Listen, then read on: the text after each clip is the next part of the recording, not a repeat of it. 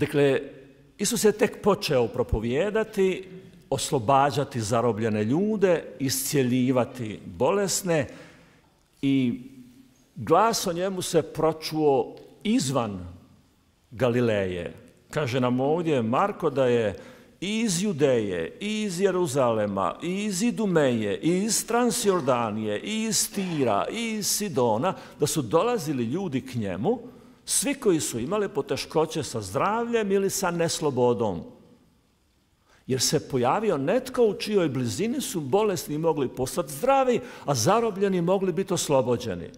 I to je bilo toliko, kaže Marko, da je Isus sam vidio, neću na kraju izići, to je prevelika masa, satraće me. Previše ih je. I onda nas Marko poučava nešto važno sa vrlo jednostavnim rečenicama. Isus kaže svojim učenicima, četiri tek učenika, još nisu svi izabrani. To će biti sutrašnje evanđelje. Dakle, nakon ovoga će oni izabrati dvanaestoricu. Za sad ih ima dva para braće koje je prve pozvao.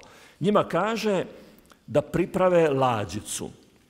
Imamo dva simbola koja treba, o kojima treba voditi računa kad čitamo Markovo evanđelje. Prvi je da je riječ o blizini jezera ili Marko ga naziva more, Genezaretsko jezero, koji je vrlo simboličan. I to ima različitu simboliku, ima vrlo složenu simboliku. More ili jezero, svejedno, to mi znamo jer živimo na Mediteranu, je e,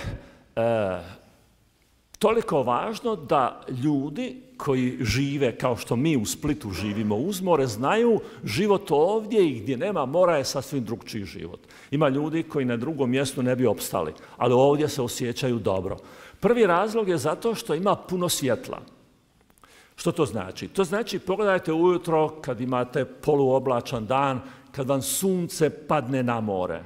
Onda imate svjetlo od ozgo, imate svjetlo od ozdo, z mora. Znači imamo dvostruko više svjetla nego li što ima tamo gdje nema vodene površine. To znači Mediteran je mjesto gdje ima obilje svjetla, za razliku od drugih mjesta gdje nema toliko svjetla. Svjetlo nije nevažno jer svjetlo mijenja raspoloženje. Vi znate da u Splitu ako nema svjetla dva dana da smo svi stumbani dole. Svjetlo je jako važno i to je vrlo velika simbolika. Svjetlo dolazi od ozgo i ono u odsjaju još se pojačava. To je blizina Božja.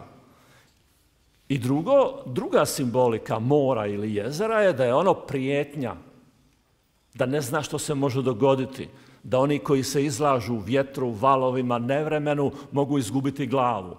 Pa će onda jezero biti isto tako vrlo jaka simbolika Božje blizine i jaka simbolika životne prijetnje.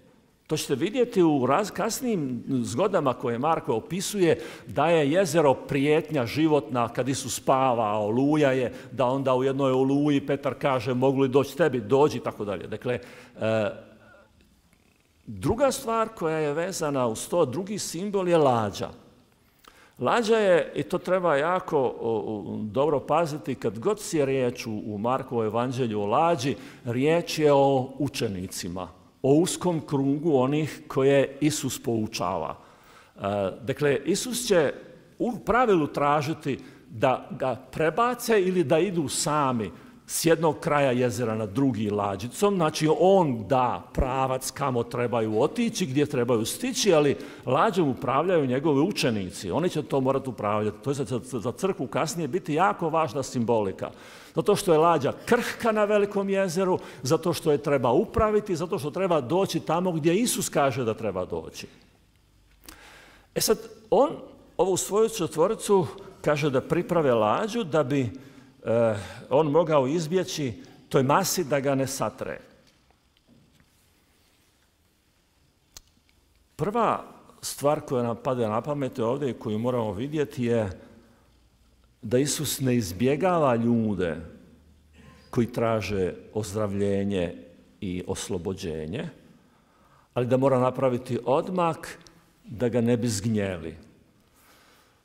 Zašto je taj odmak važan? Zato što je već na početku Isusu posve jasno da on neće moći sve ozdraviti.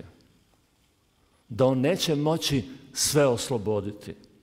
Da su ljudske potrebe goleme, velike. To da Marko kaže iz kojih sve krajeva Isusu dolaze ljudi, kaže nam otprilike ovo. Ljudska muka, ljudske bolesti, ljudske zarobljenosti su goleme, velike, nepregledne i svi oni traže izlaz iz toga. Dok se Isus nije pojavio, oni su bili bolesni i zarobljeni, ali nitko se nije skupljao na Genezareskom jezeru, jer nisu znali da se to može razriješiti. Sad se odjednom u njima probudila svijest i želja da i one iziđu iz bolesti ili iz zarobljenosti da budu slobodni. Znači, kad se on pojavio, u njima se probudila svijest da može biti drugčije, da im je Bog blizu, da je moguće da im se život promijeni. I drugo što Isusu postalo jasno, to ja sam ne mogu. On nije došao samo kao Bog koji će jednim prstom ili jednom riječu razriješiti ljudske stvari. To nije način zašto je došao i to ćemo vidjeti u drugoj rečenici zašto je to jako važno. I onda donosi odluku da ova četvorica apostola uđu u lađu da prijeđu prijeko i sutradan će izabrati dvanaestoricu koji će raditi isto što je on radio koji će ići činiti isto što je on činio. Drugim riječima, traži malu grupu koja će činiti, nastaviti ono što je on započeo. To je za crkvu iznimno važno. Crkva je na drugom Vatikanskom Eh, vrlo jasno rekla da su biskupi nasljednici apostola. Pa onda kao što je Krist izabrao dvanaestoricu, onda svaki od njih bira sebi pomoćnike, to su svećenici, koji čine isto. Što čine? To što je Čisus činio. Propovjedaju, oslobađaju, iscijeljuju i mole. To je cijela priča.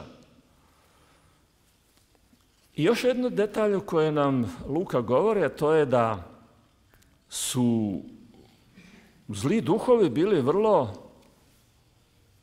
bučni.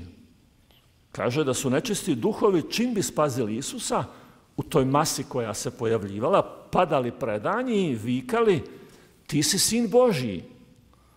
Isus im prijetio da govore to. Zašto? Pa to je točno što oni kažu. Vragovi su govorili istinu, bar naoko istinu. Ti si sin Boži i on je sin Božiji. I on je, to je točno. Ali on svejedno kaže, ne smijete to govoriti, umuknite. Zašto? I ovdje treba biti jako oprezan, je Marko prilično e, e, jasan, ali e, na neki način nam to izmiče ako nismo pozorni na tekstove. Marko kad god pušta da nečisti ili zli duhovi nešto kažu o Isusu, uvijek nam da do znanja da oni kažu dio istine i dio laži. Da nikad ne govore istinu, ne govore poluistinu. Nikad ne kažu samo jedino laž, osim u krajnjim situacijama, i nikad ne kažu istinu, nego poluistinu. Dio istine, dio laže. Stoga kad zlodosi nešto govore, ne prva stvar ne vjeruj traže šta on to laže. Što oni to lažu kad kažu ti si sin Božiji? U čemu je laž? Tom trenutku nije toliko jasno, ali mi iz Isusove zabrane da govore znamo da nešto nije u redu. To će biti kasnije jasno iz njegova odnosa sa najvažnijim od njegovih apostola, sa Petrom. Zli duhovi hoće svesti Isusa na njegovu moć iscjeljivanja i oslobađanja. I to nije istina o njemu. Kad bude kasnije Isus pitao svoje što ljudi kažu tko sam ja, Petar će reći ti si Mesija, ti si sin Božiji. Isus kaže to je točno, to ti je dao nebo da znaš. I odmah nakon toga Isus kaže, ali to znači sljedeće. Sin čovječi će biti uhvaćen, osuđen, ubijen Kaže Petar, ne može tako biti. Ne to! Što kaže Isus? Odlazi od mene sotono ili stani iza mene sotono. Evo vam sotone koja ovdje kaže ti si sin Božiji. To je i Petar rekao. Istu stvar. Što se to ne može prihvatiti? Da je razapet, da je nemoćan, da se potpuno dao. Hajde moći može prihvatiti. Jer je vidljiva, jer je opipljiva, jer bi on htio. Ali to da se Bog pojavljuje kao onaj koji će pustiti da ga mi sataremo kao, kao, kao glistu, da ga ubijemo, da ga razapnemo, da on bude potpuno nemoćan. To nije mogao prihvatiti ni jedan zloj duh, niti je Petar mogao prihvatiti. Petru je trebalo puno vremena da otkrije zašto Isus to govori.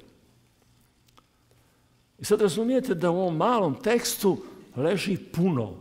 To je velika jezgra koja nas uči važnim stvarima. Isus je došao u istinu donijeti radosnu vijest, osloboditi, iscijeliti, ali on hoće da se mi iznutra promijenimo, da mi nađemo načina kako sudjelovati u propovjedanju radosne vijesti, kako sudjelovati u iscjeljivanju ljudskih bolesti, kako sudjelovati u oslobađanju onih koji su zarobljeni. To je zadatak koji je dan njegovim učenicima, pa onda crkvi, ali to je zadatak svih onih koji su krenuli za njim. Da se ne dogodi da vjerujemo u Isusa kao zli duhovi, pa da kažemo, pa on je Bog, može sve. To nije on, to nije to zašto on došao. On nije došao izvesti neki performans, neku igru, neku predstavu u kojem ćemo mi gledati što on to sve može napraviti, a mi ćemo reći dobro ili nije dobro. On je došao zbog nas, zbog promjene našeg srca, zbog promjene našeg mentaliteta, zbog razumijevanja kakav je to Bog. Kakav je to Bog koji dolazi i, i dopušta da ga pribijemo na križ. Kakav je to Bog koji naoko može sve, ali hoće da mi iznutra surađujemo s njime. Zato je došao. I to je ono što možemo učiti gledajući što je radio Fra Josip, što je pisao. Uzmite, čitajte ono što je provodio, što je pisao, otkrićete isto što piše u Markovu evanđelju. I to je za nas velika i jasna uputa. Radio je ono na što ga je Bog pozvao i bio je vjeran njegovom pozivu. Evo dao Bog da od evanđelja i od jednog zaokruženog života, jednog dobrog svećenika učimo što Bog hoće od nas. Amen.